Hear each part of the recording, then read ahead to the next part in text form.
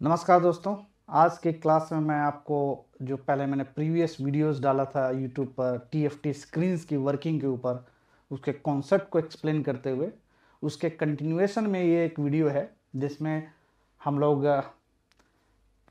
TFT panels जो double driven panel है double driven panel कैसे काम करता है, ठीक है? और ये videos TV repair technician laptop technicians desktop monitor की स्क्रीन को रिपेयर करने वाले लोग और इवन मोबाइल फ़ोन को स्क्रीन को रिपेयर करने वाले लोग रेफ़र कर सकते हैं। क्योंकि एक, एक ये एक जनरल क्लास है जो भी मैं चीज़ इसमें बता रहा हूँ जनरल है। सभी टी एफ़ टी स्क्रीन के लिए ये वैलिड है ठीक है? कोई ऐसा नहीं है कि मैं सिर्फ़ टीवी के लिए बता रहा हूँ ठीक है? जितने भी तरह के फॉल्ट्स हैं आप उन सभी फॉल्ट्स को विजुलाइज कर सकते हैं थियोरटिकली जैसे आप मॉडिफिकेशन करते हैं आप मॉडिफिकेशन क्या करते हो कि आजकल काफ़ी सारे टीवी स्क्रीन में प्रॉब्लम ये आता है कि एक साइड डिस्प्ले फाइन है, दूसरे साइड डिस्प्ले नहीं आ रहा। है आप पीसीबी पे कट करते हो दूसरे साइड जहाँ डिस्प्ले नहीं जिस साइड डिस्प्ले नहीं आ रहा, उस साइड आप कट करते हो और पूरे पैनल को एक साइड से ड्राइव कराते हैं। बट कई सारे पैनल में आपको एक साइड से ड्राइव करने में प्रॉब्लम्स आते हैं। ठीक है प्रॉब्लम क्या है? हॉरिजेंटल लाइन रह जाएगा या दोनों तरफ़ जो है पिक्चर सेम नहीं होगा ब्राइटनेस सेम नहीं होगी। एल में आप देखने को मिलेगा आपको फोर के पैनल्स में। पांडा में देखने को मिलेगा, ठीक है? तो आखिर क्यों है? ऐसा क्यों होता? है हम लोग इसको कैसे रेक्टिफाई कर सकते हैं? इवन टीकॉन प्रोग्रामर भी आजकल मार्केट में आया है, ठीक है? टीकॉन पे जो डीसी डीसी आईसी होती है, उसके voltage V G H V G L को वेरी करने के लिए आप प्रोग्राम कर सकते हैं। तो इसका कहाँ पर यूज़ होता है? उस चीज़ को हम लोग समझेंगे कि इसका यूज़ क्या है, ठीक है? तो ब्रीफली मैं इन सारे कॉन्सेप्ट को आज टच करूँगा। एक, ठीक है, एक जनरल क्लास है कॉन्सेप्ट ओरिएंटेड क्लास है, ठीक है? लेकिन प्रीवियस वीडियोस को आप ज़रूर रेफर करिए। फिर भी मैं इस क्लास में अपने प्रीवियस वीडियोस को जो इम्पोर्टेंट कॉन्सेप्ट है, उसको मैं इस क्लास में फिर से रिपीट करूँगा और उस पर बिल्ड ऑन होके जो आज की क्लास है double driven double driven circuit को हम लोग समझें, ठीक है? रेजिस्टेंस कंपनसेशन क्या होता है, इसके बारे में समझेंगे हम लोग, ठीक है? तो स्टार्ट करते हैं हम लोग क्लास तो let's start with the very basic block diagram कोई भी स्क्रीन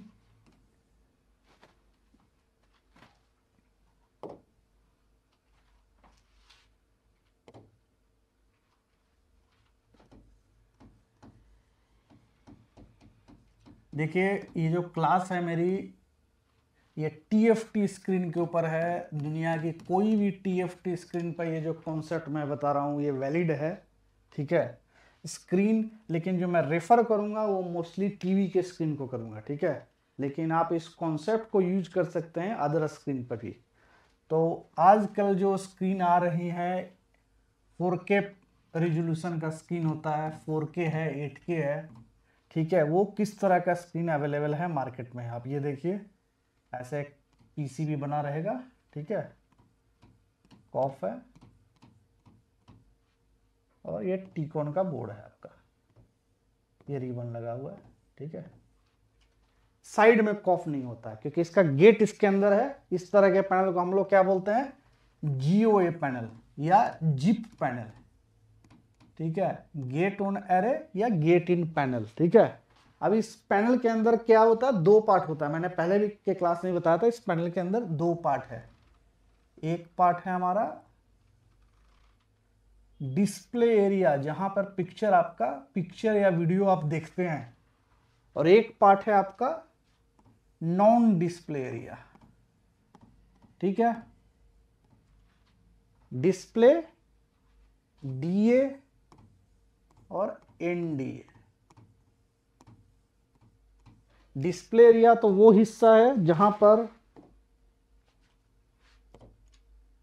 जहाँ पर आपको वीडियो पिक्चर दिखता है, जहाँ पर ये पिक्सल्स पैनल के अंदर पिक्सल्स रिसाइड करते हैं, यहाँ पे पिक्सल होता है, ठीक है? ये पिक्सल इसके अंदर बना होता है और इस हिस्से में क्या होता है? गेट ड्राइवर आप देखिए, कुछ ट्रैक्स तो जो पीसीबी से हैं, वो ट्रैक ये चिप बना होता है यहाँ पे सीओजी होता है जी। ठीक है सीओजी बना होता है। तो कुछ तो ट्रैक आपके सीधे प्रोसेस हो जाएँगे, जो चिप के चिप के ज़रिए चिप उसको प्रोसेस करेगा और वो इधर चला जाएगा, ठीक है? और कुछ सिग्नल्स होते हैं जो चिप को बाईपास करते हुए अंदर घुस जाता है ऐसे। ठीक है? बाईपास करते हुए अंदर घुस जाता है ऐसे। तो ये जो ट्रैक्स है ये है गेट ड्राइवर का सिग्नल गेट ड्राइवर का सिग्नल ठीक है? गेट ड्राइवर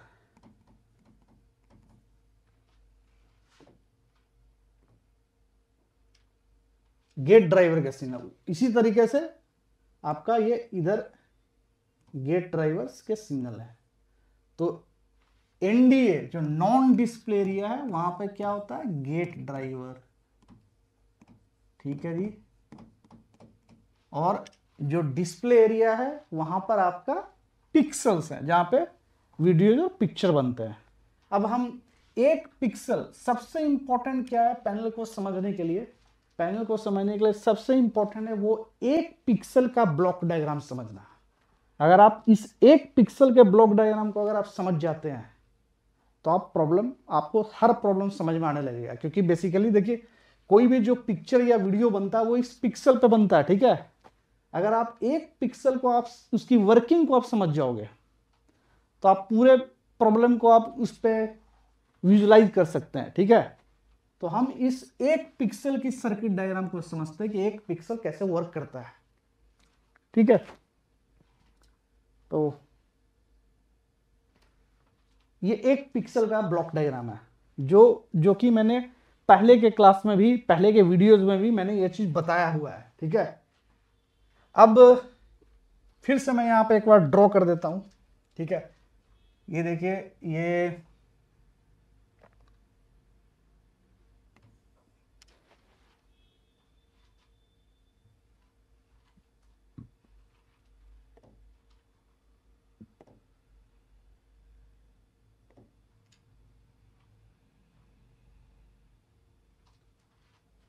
यहाँ पे मैं ऑलरेडी इसमें डायग्राम में बना हुआ है डेटा लाइन और स्कैन लाइन डेटा लाइन कहाँ से आ रहा है आपका? डेटा लाइन आ रहा है एक मिनट।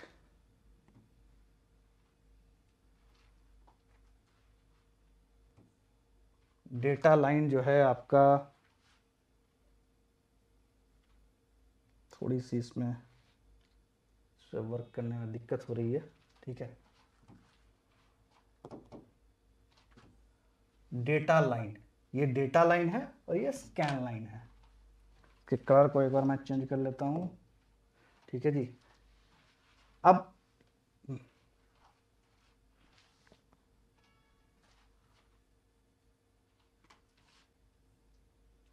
ठीक है।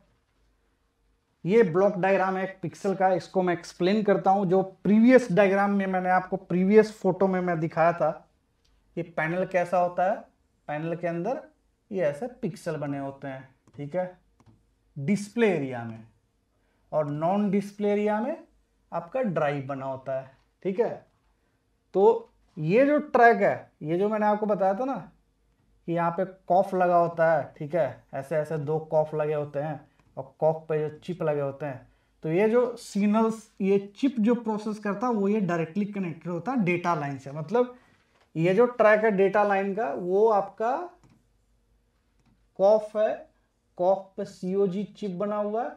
उस चिप से डायरेक्टली कनेक्टेड है जी। ठीक है? और ये स्कैन लाइन इसको आप गेट लाइन भी बोल सकते हो। गेट लाइन ठीक है? ये गेट लाइन कहाँ से कनेक्टेड है? मैंने क्या बोला था? कुछ सिग्नल्स तो आपको ये चिप प्रोसेस करेगा जो कि डेटा लाइन से कनेक्टेड है। ये जो ब्लॉक डायग्राम है, वो एक पिक्सल का है, वो इस पिक्सल का है, ठीक है? और जो मतलब ये वाला जो ट्रैक है, ये जो ट्रैक है, वो ये ट्रैक है डेटा लाइन है, जो आपके कॉफ से डायरेक्टली कनेक्टेड है, ठीक है?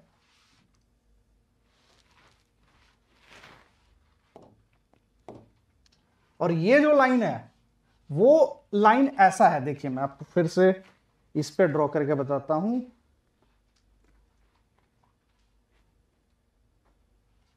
इसको मिटा देता हूँ मैं।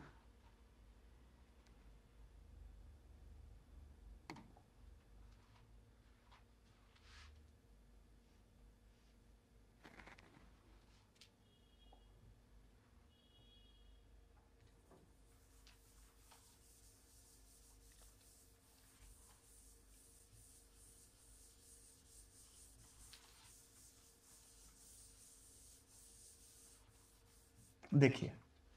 अब फिर से आप देखिए। ये जो पैनल बना हुआ है, इस पैनल में दो दो हिस्से होते हैं पैनल में डिस्प्ले एरिया और non display area display area के अंदर पिक्सल्स बने होते हैं। ठीक है? पिक्सल क्या है? R G B R G B ठीक है? R G B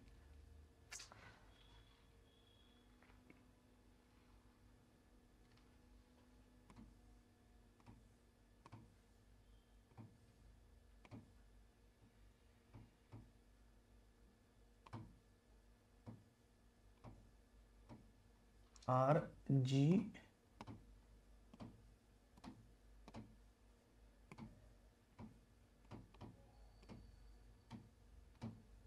और एक नॉन डिस्प्ले एरिया ये नॉन डिस्प्ले, इस हिस्से में क्या होता है?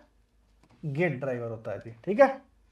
अब ये जो लाइन है, ये जो ट्रैक है, ये ट्रैक तो आपका कॉफ से आ गया। कॉफ पे जो सीओजी है, वो इससे आ गया, ठीक है? और जो बाकी जो सिग्नल है जो गेट ड्राइव का सिग्नल होता है वो आपके यहाँ पे ऐसे रिसाइड करते हैं। वो रहते हैं यहाँ पे। ठीक है? और इस तरह का चिप बना होता है। अब ये मैंने ऐसे ऐसे रेक्टेंगल टाइप का चिप तो बना दिया है लेकिन इसको अगर आप लेजर मशीन से देखोगे तो ये काफ़ी सारा स्ट्रक्चर होगा।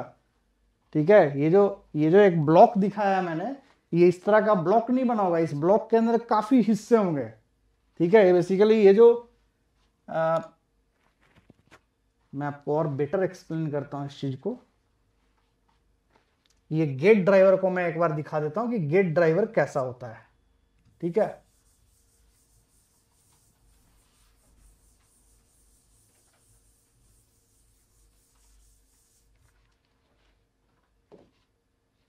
आप मेरे प्रीवियस क्लासेस में देखते होंगे कि गेट के सिग्नल कौन कौन से होते हैं। क्लॉक के होंगे। तो सी एल के वन वो डिपेंड करता है कितना क्लॉक है अगर आपका बड़ा पैनल है, ज़्यादा क्लॉक होगा। छोटा पैनल है, कम क्लॉक होगा, ठीक है? तो हम एक एज्यूम करते हैं कि ये पैनल में चार क्लॉक है। तो ये सारे क्लॉक आपके तीन, चार, ये सारे क्लॉक अच्छा पहला क्लॉक जो होगा, किसी भी पैनल को आप देख लेना। सी एल के वन सबसे लास्ट में होगा। अच्छा ये डबल ड्रिवन पैनल है। तो इस तरह का आपको नॉन डिस्प्ले एरिया में जो है ये सारे नॉन डिस्प्ले एरिया में रहते हैं। ये ये मैं आपको लेफ़्ट साइड का बता रहा हूँ। ये लेफ़्ट साइड है, ठीक है? ये लेफ़्ट साइड है, उसी तरह राइट साइड में भी बना होगा। ठीक है? राइट साइड में भी आपके ऐसे क्लॉक बने होंगे। ठीक है जी? तो सी एल के वन कोई भी पैनल हो, किसी भी मैन्युफैक्चरर का पैनल हो सी एल के वन सबसे लास्ट में मिलेगा आपको। C L K one C L K two C L K three C L K four ये तो हो गए आपके क्लॉक उसके बाद कौन से सिग्नल मिलते हैं? V G H constant voltage होंगे. वी जी एच होगा. वी जी एल होगा. ठीक है? एस टी भी सिग्नल होता है. एस टी वी डिपेंड करता है. कई सारे पैनल में तो वो क्लॉक के पहले होगा. ठीक है? S T V S T V का मतलब होता है स्टार्ट वर्टिकल इसका भी मैं आपको कॉन्सेप्ट बताऊँगा कि ये एस का रोल क्या है, ठीक है? एस या तो ये एस आपको यहाँ मिलेगा, या इस साइड मिलेगा, ठीक है? ये डिपेंड करता है आपका पैनल कैसा है। एल के पैनल में एस आपको इधर मिलेगा जी, ठीक है? ये एस का ट्रैक इधर रहेगा मतलब इधर का मतलब पैनल का आउटसाइड कई सारे पैनल में आपको एस बिल्कुल इधर मिलेगा, ऐसे ए e के पैनल में जाओ, उसके पैनल में जाओगे आप ए e में जाओगे या पीटी में जाओगे पीटी मतलब एच के सी के पैनल में जाओगे, आपको बिल्कुल साइड में मिलेगा। एलजी में जाओगे एस भी आपको इधर मिलेगा, ठीक है? तो कैसे पहचाने हैं कि एस टी भी इधर है या उधर है, इसका भी मैं आपको बताऊँगा अभी। एसटीबी हो गया क्लॉक हो गया वीजीएच हो गया वीजीएल हो गया। अच्छा कई सारे और और भी सिग्नल होते हैं वीजीएच ऑड होता है, ठीक है? वीजीएच ऑड वीजीएच इवन ठीक है? उसी तरीके से इधर भी आप बनाओगे। वीजीएच ऑड वीजीएच इवन ठीक है?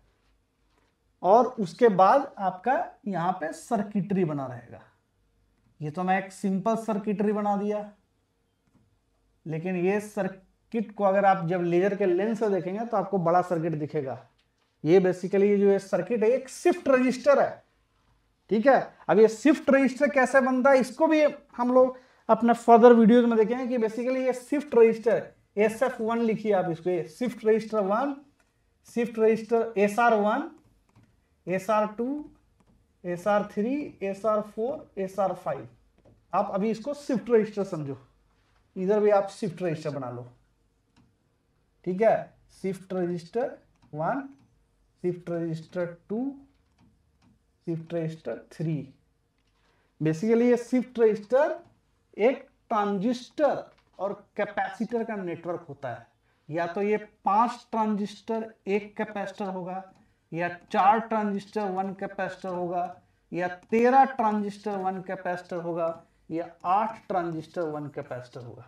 Eight T one C four T one C thirteen T one C five T one C ठीक है? ये सब इस शिफ्ट रजिस्टर का स्ट्रक्चर है। ठीक है? मतलब एक शिफ्ट रजिस्टर पाँच ट्रांजिस्टर एक कैपेसिटर से बनता है। अभी इस क्लास में मैं इसके सर्किट को दिखाऊँगा, लेकिन एक्सप्लेन मैं इस क्लास में नहीं कर पाऊँगा, क्योंकि ये लंबा क्लास होने वाला फिर। ठीक है? तो अभी हम लोग क्या कर रहे हैं? ये सारे सिग्नल जो है एस टी ये सारा सिग्नल जो है शिफ्ट रजिस्टर में जाएगा। एक एक करके यहाँ ये अच्छा एक चीज़ आप ये देखो, ये जो सारे ट्रैक जाता है ना, ये मोटा ट्रैक होता है। मतलब आप लेयर के लेंस से देखोगे तो ये ट्रैक का, ये ट्रैक जो है, ये ट्रैक आपको चौड़ा दिखेगा, ठीक है? ये ट्रैक चौड़ा दिखेगा, ये ट्रैक वाइड होगा, ये भी वाइड होगा, ये भी वाइड होगा। और इससे जो ट्रैक निकल रहा है, ठीक है, उसके जो ट्रैक निकाला, ये पतले ट्रैक होंगे। ये वाला ट्रैक पतला होगा, ये वाला ट्रैक मोटा होगा, क्योंकि देखो, सारे ये जो क्लॉक का जो सिग्नल है, वो डायरेक्ट पीसीबी से कनेक्ट होकर आए हैं। पीसीबी से आया, ये पीसीबी से आया, ठीक है? अब आपको पता है ऐसा तार जिसमें ज़्यादा करंट फ्लो करना होता है तो उसका क्रॉस सेक्शनल एरिया हम लोग ज़्यादा लेते हैं। मोटा तार यूज़ करते हैं। अगर हेवी करंट आपको फ्लो कराना है तो आप कैसा तार यूज़ करोगे? जिसका क्रॉस सेक्शनल एरिया ज़्यादा हो, ठीक है? तो ये जो तार है, ये जो क्लॉक के तार हैं, ये डायरेक्ट आपके पैनल के पीसीबी से आ रहे हैं। और इससे इससे पूरे पिक्सल मतलब जितना पिक्सल अगर 4K है तो चार हज़ार छियानवे गेट होगा। ठीक है जी? उतना गेट के लिए आप हर हर हॉरिजेंटल लाइन में आपका ये तार निकल के यहाँ जाएगा, ठीक है? इससे भी जाएगा, इससे भी जाएगा। सभी सभी शिफ्ट रजिस्टर पे सारे सिग्नल चाहिए। सारे सिग्नल मतलब अगर क्लॉक चार है तो हर शिफ्ट रजिस्टर को दो क्लॉक चाहिए। सारा क्लॉक नहीं चाहिए। ये ज़्यादा क्लॉक इसलिए यूज़ करते हैं क्योंकि अगर एक ही क्लॉक से आप सबको ड्राइव करोगे तो इस तार का लोड बहुत बढ़ जाएगा ना। इसलिए हम जब क्लॉक्स हम लोग चार छ आठ क्लॉक क्यों यूज़ करते हैं? ताकि ये कुछ सेक्शन जो पैनल के ऊपर के कुछ सेक्शन है, उसको दो क्लॉक से ड्राइव कर दिए। पैनल के बीच वाला सेक्शन को अलग दो क्लॉक से ड्राइव कर दिए। पैनल के नीचे वाला सेक्शन को अलग दो क्लॉक से ड्राइव कर दिए। या ऑल्टरनेट ड्राइव कर दिए। आपको हर शिफ्ट रजिस्टर को दो क्लॉक चाहिए होता है। या तो सी एल के वन या सी एल के टू जाएगा इसमें, ठीक है? या इसमें सी एल के थ्री या सी एल के फोर जाएगा। दो क्लॉक क्या क्या इंपॉर्टेंट क्या क्या चीज़ है? दो क्लॉक, एक वीजीएच एक वीजीएल और एसटीवी अब एसटीवी का जो सिग्नल है, ठीक है, अभी मैं इस ब्लॉक डायग्राम को यहाँ पे एक्सप्लेन नहीं करता हूँ। अभी मैं आपको बस दिखा रहा हूँ कि ये सब शिफ्ट रजिस्टर पे जा रहा है और शिफ्ट रजिस्टर एक आउटपुट जनरेट करता है। इधर से भी और इधर से भी, ठीक है? इधर से भी और इधर से।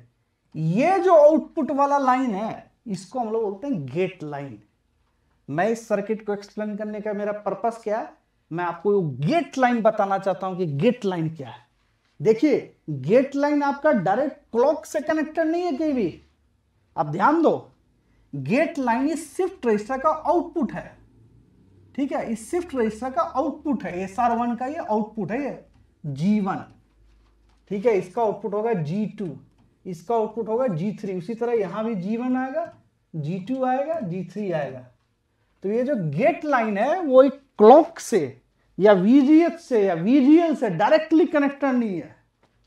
इस शिफ्ट रजिस्टर पे दो क्लॉक वीजीएच वीजीएल ठीक है, या वीजीएच और वीजीएच इवन मिलेगा तो एक गेट पर आउटपुट जनरेट होगा।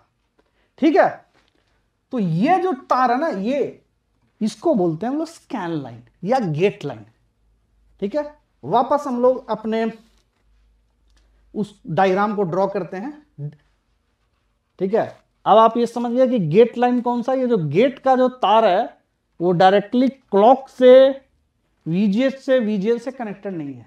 वो शिफ्ट रजिस्टर का आउटपुट का तार है। ठीक है? शिफ्ट रजिस्टर का आउटपुट का तार है अब हम लोग एक डबल ड्रिवन पैनल का ब्लॉक डायग्राम बनाते हैं। अभी तो मैंने आपको ये बता दिया कि गेट लाइन क्या है। अब हम एक डबल ड्रिवन पैनल के ब्लॉक डायग्राम को बनाते हैं।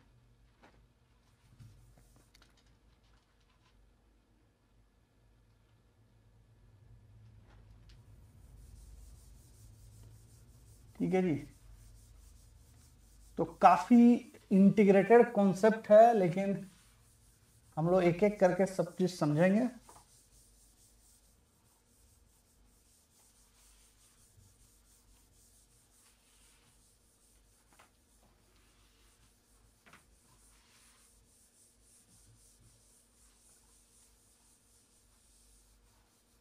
तो जो हमारा, फिर से मैं आपको बता रहा हूँ कि हमारा एक पिक्सल का डायग्राम क्या है। अब एक पिक्सल मेरा, आप समझो, ये समझो आप एक पिक्सल ये है ये है ये है, ठीक है, ये है। अब ये जो ट्रैक है डेटा का ट्रैक ये मैंने आपको बताया, ये कॉफ के सीओजी से कनेक्टेड है जी, ठीक है। ये क्या है? डेटा ठीक है? ये क्या है? गेट गेट ठीक है जी? गेट का लाइन और ये क्या है आपका? डेटा सोर्स ये सोर्स होगा। सोर्स आपका कैपेसिटर एक कैपेसिटर है। इस कैपेसिटर में लिक्विड क्रिस्टल डाला हुआ है, ठीक है? लिक्विड इस कैपेसिटर का दूसरा एंड जो है वो वीकॉम से कनेक्टेड है। वीकॉम ठीक है? और ये जब ये गेट का पल्स यहाँ पर आएगा, इस मॉसफेट के ऊपर तो ये जो ड्रेन पे जो वोल्टेज है, वो सोर्स पे पहुँच जाएगा। तो कैपेसिटर के दूसरे एंड पे वोल्टेज आपका पहुँच जाएगा और दोनों कैपेसिटर के बीच में वो लिक्विड क्रिस्टल है। अब वोल्टेज आप वेरी करोगे तो लिक्विड क्रिस्टल का ओरिएंटेशन वेरी करेगा, ठीक है?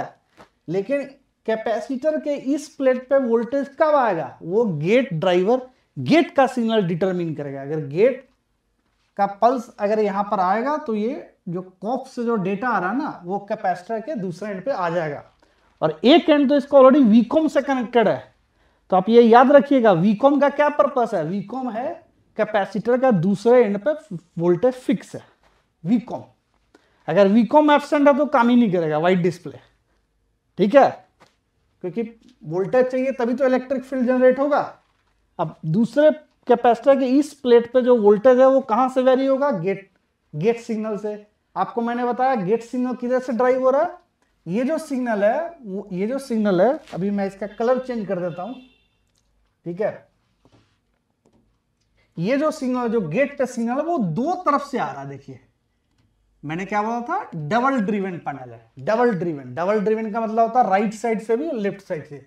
वो इधर से भी आ रहा है ये लेफ़्ट साइड से भी आ रहा है और ये राइट साइड से भी आ रहा है। अच्छा ये पूरे पैनल का एक पिक्सल के बारे में मैं डिस्कस कर रहा हूँ। इसी तरह से सारा पिक्सल कनेक्टेड होगा, ठीक है? जो एक पिक्सल का जो गेट का जो सिग्नल है, वो राइट साइड से भी ड्राइव हो रहा है और लेफ़्ट साइड से भी ड्राइव हो रहा है। क्योंकि ये डबल ड्रिवन है ना, दोनों तरफ़ आपका, दोनों तरफ़ से सिग्नल जा रहा है गेट का तो ये इधर से भी ड्राइव कर रहा अच्छा ये दोनों तरफ़ से जो करंट आता है ना, वो जुड़ के आते हैं एक पिक्सल के गेट पे। समझ रहे हैं? मतलब अगर यहाँ पर गेट पर 10 एम्पियर का करंट आ रहा है तो 5 एम्पियर का करंट राइट साइड से है 5 एम्पियर का करंट आपका लेफ़्ट साइड से है। डबल ड्रिवन का मतलब ये है कि एक पिक्सल के गेट पर गेट सिग्नल दोनों तरफ़ से ड्राइव हो रहा है राइट साइड से लेफ़्ट साइड से। ठीक? तो अब सवाल ये उठता है कि जब हमारा पैनल वर्क करता है आपका एक साइड एक साइड से वर्क कर रहा है, ठीक है जी? और दूसरे साइड से वर्क नहीं करता है। आपने फ्लैप निकाल लिया, दूसरे साइड वर्क नहीं किया। तो आप उस केस में क्या करते हो? आप जो है इसके, एक minute.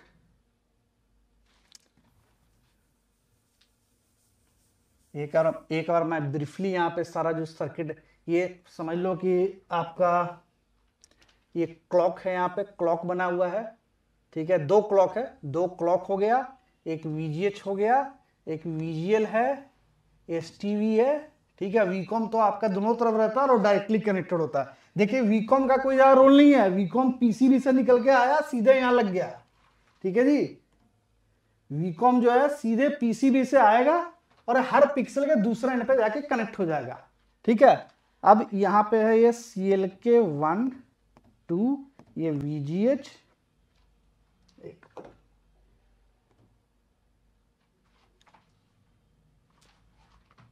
VGH VGL S T V ठीक है? और ये आपका ऐसे ऐसे शिफ्ट रजिस्टर बना सपोज़ कि ये तीसरा नंबर शिफ्ट रजिस्टर है। यहाँ से आ रहा है, ठीक है? इस पे आपको दो क्लॉक मिल गया। एक वीजीएच मिल गया एक वीजीएल मिल गया एस मिल गया। एस सबसे ऊपर वाला को मिलता है इसका आउटपुट इसमें आता है इसका आउटपुट इसमें आता है। इसका आउटपुट दूसरे के इनपुट में आता है। तो एस का मतलब है मैं ऐसा three shift register three S जो सिग्नल है हमेशा पहले वाले शिफ्ट रजिस्टर पे, पे ही जाएगा। ये आप ध्यान दीजिएगा। जो भी एस का सिग्नल पैनल पर मिलेगा एस का मतलब होता है स्टार्ट वर्टिकल ठीक है? अगले क्लास में मैं आपको लेजर से पैनल का वीडियो दिखाऊँगा, उसमें दिखाऊँगा सिग्नल क्या अभी ये थियोटिकल क्लास है। ठीक है तो एस टी सिग्नल हमेशा एस आर वन पे जाएगा। S R one okay? S R one पे जाएगा जी। एस आर वन मतलब सबसे पहला शिफ्ट रजिस्टर पे ही जाएगा वो। और जो पहला शिफ्ट रजिस्टर का जो आउटपुट है, वो दूसरे शिफ्ट रजिस्टर में जाएगा, दूसरे का आउटपुट तीसरे में जाएगा। तो दो क्लॉक कोई भी, मैंने क्या बोला था शिफ्ट रजिस्टर क्या चाहिए? दो क्लॉक चाहिए कांस्टेंट वोल्टेज चाहिए। कांस्टेंट वोल्टेज क्या होता है? वीजीएच वीजीएल या वीजीएच ऑड या वीजीएच इवन मैं आपको अगले क्लास में बताऊँगा ये ऑड इवन का क्या कॉन्सेप्ट है।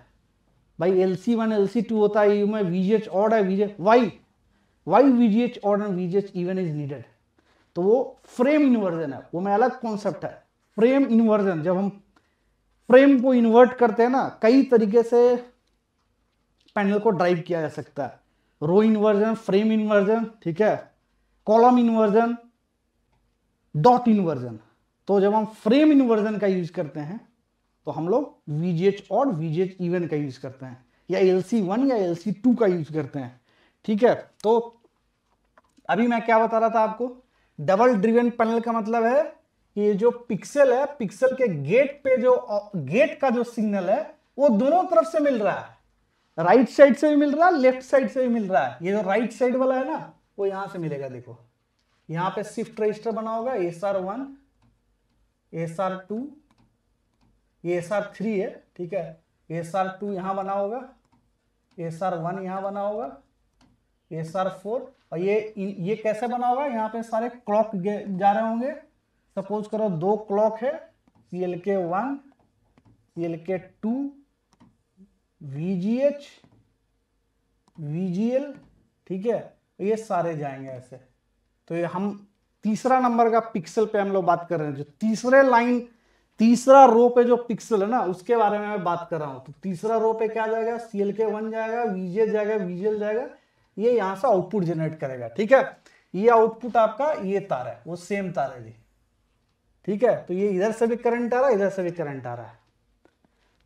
डबल ड्रिवन का मतलब ये है। अब आप लोग हमेशा बात कर रहे हैं, दोनों तरफ़ से ड्राइव होता है। दोनों तरफ़ से ड्राइव क्या हो रहा है? ये इसका गेट ड्राइव हो रहा है।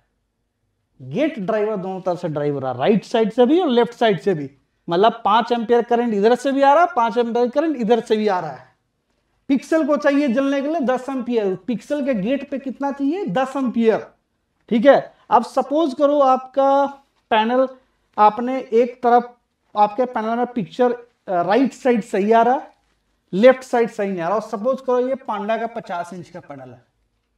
Fifty inch Panda C C P D fifty P V five D या पी वी सिक्स डी इस तरह का मॉडल आता है आपका पांडा में। सपोज़ करो ये पैनल है, जिसमें एक साइड डिस्प्ले है, या एलजी का फोर के पैनल मान लो आप। चलो। एलजी का फोर के पैनल मान लो, जिसमें एक साइड आपका पिक्चर सही आ रहा है वीडियो सही है, दूसरे साइड आपका पिक्चर सही नहीं है, और आप राइट साइड सही है। सपोज़ करो राइट साइड बिल्कुल परफेक्ट फाइन है। लेफ़्ट साइड आपका खराब है। ठीक है तो आप क्या करते हो? आप लेफ़्ट साइड के सारे क्लॉक को आप पीसीबी पे कट करते हो, या तो आप क्या करते हो, इसके क्लॉक को आप काट देते हो। ठीक है? अब ये क्लॉक जैसे ही आपने काटा, ये शिफ्ट रजिस्टर वर्क करना बंद कर दिया। ठीक है? क्योंकि मैंने आपको क्या बताया था? सिर्फ़ एक शिफ्ट रजिस्टर को वर्क करने के लिए क्लॉक चाहिए वीजेट चाहिए, वीजीएल चाहिए, एसटीवी। जैसे ही आपने क्लॉक डिस्कनेक्ट किया, या तो पीसीबी पे किया, या अंदर लेजर से किया तो आपका ये शिफ्ट रजिस्टर बंद बंद हो गया। मतलब इधर से कोई करंट नहीं आएगा। अब ये पिक्सल को चाहिए दस एम्पियर। इसके गेट पर दस एम्पियर चाहिए तभी ये पिक्सल इसके गेट पर जब तक दस एम्पियर नहीं आएगा, ये मॉस्फेट एक्टिवेट नहीं होगा, ये मॉस्फेट एक्टिवेट नहीं होगा तो इस इस कैपेसिटर ये जो कैपेसिटर है ना, उसके एक एंड पर वोल्टेज नहीं पहुंचेगा। वोल्टेज नहीं पहुंचेगा तो आपका पिक्सल नहीं ग्लो करेगा। आपने क्या किया? आपने क्लॉक को काट दिया। क्लॉक को काट देने से ये शिफ्ट रजिस्टर बंद हो गया। शिफ्ट रजिस्टर बंद होने से ये जो पाँच एम्पियर जो इधर से लोड ले रहा था, ये सारा लोड इधर से खींचेगा।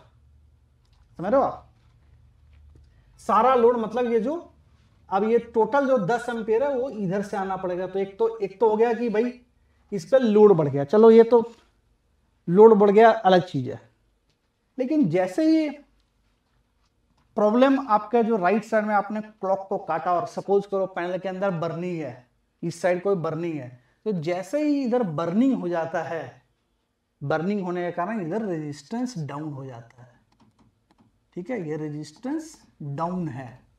क्योंकि इधर बर्निंग हो गया, कोई चीज़ जब आपस में टच हो गया, दो तार जब आपस में टच हो जाते हैं तो क्या होते हैं? रेजिस्टेंस डाउन हो जाता है, वो शॉर्टिंग हो जाता है। तो ये जो आपका लेफ़्ट साइड का जो पोर्शन है, वो लेस रेजिस्टेंस है। ठीक है? और जो राइट साइड का एरिया है, वो हाई रेजिस्टेंस है। अब ये जो करंट है, जो अब अब ये क्या करेगा? राइट साइड से करंट खींच रहा तो ये जो 10 एम्पियर का करंट जो इधर खींचने लगेगा, ये इधर जाना चाहिए पूरा 10 एम्पियर, ये कुछ दो तीन एम्पियर, ये इधर भी जाने लगेगा, क्योंकि ये लेस रेजिस्टेंस पाथ मिल रहा है, दिख रहा है इसको। इस पिक्सल के तुलना में ये less resistance less resistant path दिख रहा है। लेस रेजिस्टेंट पाथ होने के कारण ये जो आपका 10 एम्पियर जो इसको राइट साइड से खींचना चाहिए लेफ़्ट साइड तो आपने काट ही दिया है क्लॉक को। आपने क्लॉक काटा, ये शिफ्ट रजिस्टर बंद हो गया। शिफ्ट रजिस्टर बंद होने के कारण इस साइड से एम्पियर लेना बंद कर दिया इसने। सारा एम्पियर वो राइट साइड चलेगा, लेकिन चूँकि इधर पैनल के अंदर बर्निंग है, आपने क्लॉक को काट दिया बर्निंग अभी ऑलरेडी मौजूद है, ठीक है? लेस रेजिस्टेंट पाथ हो गया। लेस रेजिस्टेंट पाथ होने के कारण ये जो 10 एम्पियर जो यहाँ आना था, उसमें से दो तीन एम्पियर वो इधर चला गया। यहाँ पे क्या मिला? सात एम्पियर। आपका पिक्सल बकबुक बकबुक फ्लिकरिंग कर रहा है। तो आपको हॉरिजेंटल लाइन दिखता है, या पिक्चर, दोनों दोनों तरफ़ पिक्चर में आपको क्लैरिटी नहीं दिखती है, ठीक है? सेम नहीं दिखता तो ये क्यों हो रहा? Due to difference in resistance आपका इस तरफ़ रेजिस्टेंस ज़्यादा है, इस तरफ़ रेजिस्टेंस कम है। हम इस रेजिस्टेंस को कंपनसेट करना पड़ेगा। मुझे इस रेजिस्टेंस को कंपनसेट करना पड़ेगा। हम कंपनसेट कैसे कर सकते हैं? अंदर कोई रेजिस्टेंस तो लगा नहीं सकते ना आप? ये तो पैनल के अंदर की कहानी है। यहाँ पे कोई रेजिस्टेंस आप लगा नहीं सकते हो। कैसे कंपनसेट करोगे?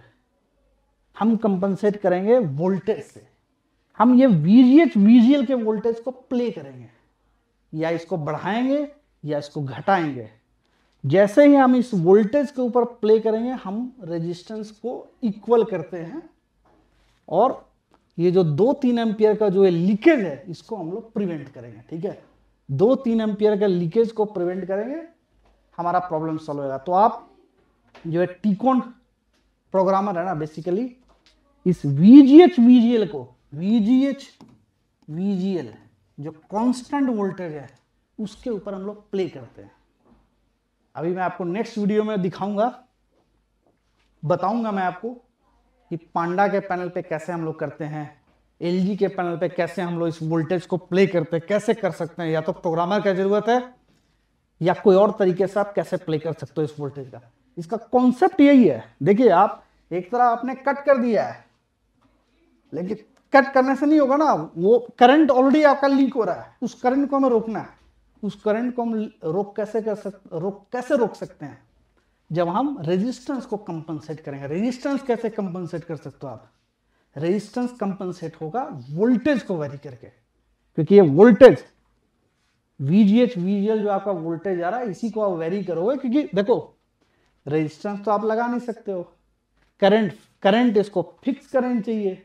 जब तक इसको प्रॉपर एम्पियर नहीं मिलेगा, तब तक ये आपका पिक्सल जलेगा नहीं। तो आप वोल्टेज को वेरी करके ही तो रेजिस्टेंस को वेरी कर सकते हो दोनों तरफ़। ठीक है? तो ये जो सारा हम लोग मोडिफिकेशन करते हैं कि भाई पांडा के में क्या करते हैं? हम लोग विजुअल विजुअल सारे क्लॉक को काट देते हैं और विजुअल को भी पीसीबी साइड से कट करके उसको जो अपना एवीडीडी वोल्टेज होता है, उसके साथ कनेक्ट कर देते हैं। तो आपका हॉरिजेंटल लाइन चला जाता है। ठीक है, उसका कॉन्सेप्ट यही है। आप अगर आप थ्योरी पे जाओगे थ्योरी इसका यही है। इसका प्रैक्टिकल एप्लीकेशन ये हो सकता है कि भाई कभी कई जगह आपको वीजीएच को लो करना पड़ेगा वीजीएल को हाई करना पड़ेगा। भाई, दो ही काम कर सकते हो ना। वीजीएच तो ऑलरेडी हाई वोल्टेज है। थर्टी वोल्ट है। तीस वोल्ट आपका वीजीएच है। अगर ओवर ब्राइटनेस का आपको दिक्कत आ रहा है, जैसे LG के पैनल एक तरफ़ आपको ओवर ब्राइटनेस दिखेगा, उसमें वीजीएच को कम करेंगे। ठीक है? पांडा का पैनल है, उसमें वीजीएल को हाई कर देते हैं। ठीक है? तो सारा कुछ हम कांस्टेंट वोल्टेज के ऊपर प्ले करते हैं। इसका कॉन्सेप्ट यही है। डबल ड्रीवन का मतलब क्या होता है? इसके गेट पे जो सिग्नल मिल रहा है, वो राइट साइड से लेफ़्ट साइड से मिल रहा है। राइट का शिफ्ट रजिस्टर और लेफ़्ट का शिफ्ट रजिस्टर से दोनों करंट जा रहा है। पूरे पैनल को आप इस पिक्सल पे होकर समझिए। आपको सारा फॉल्ट समझ में आ जाएगा। अब कई लोग ये पूछते हैं, सर फ्लिकरिंग होता है, इतना ज़्यादा फ्लिकर करता है, पता ही नहीं चलता फॉल्ट कहाँ से? देखो, अगर आप वीडियोस के फ्रेम फ्रीक्वेंसी को 60 हर्ज का है 120 हर्ज का है, उसको अगर हम स्लो कर दें, अगर हम 120 हर्ज को एक हर्ज कर दें, दो हर्ज कर दें तो आपको दिखने लगेगा कि फॉल्ट कहाँ से है। लेजर मशीन वाला जिनके पास होता है, वो लोग हमेशा पूछते हैं कि कैसे दिखेगा? तो हमेशा फॉल्ट पे ध्यान देना, आप फॉल्ट को रिकॉर्ड करो कैमरा से, अगर आपको नहीं समझ में आ रहा, फ्लिकरिंग कर रहा तो और उसको स्लो मोशन में चलाइए, बिल्कुल स्लो मोशन में। आपको आइडिया लगेगा कि कहाँ से फॉल्ट आ रहा है, किस लाइन से फॉल्ट आ रहा है, ठीक है? तो इन सब चीज़ को हम लोग नेक्स्ट क्लास में कंटिन्यू करेंगे। आज जो मेरा मेन मकसद था कि डबल ड्रिवन पैनल कैसे वर्क करता है, ठीक है? और इसका थ्योरेटिकल एक्सप्लेनेशन कि आखिर ये हम लोग एक तरफ़ कटिंग कर रहे थे, उसके बावजूद क्यों नहीं चलता है? तो सारा गेम आपका रेजिस्टेंस का है। रेजिस्टेंस कंपनसेट करना है। रेजिस्टेंस कंपनसेट करने के दो तरीके हैं।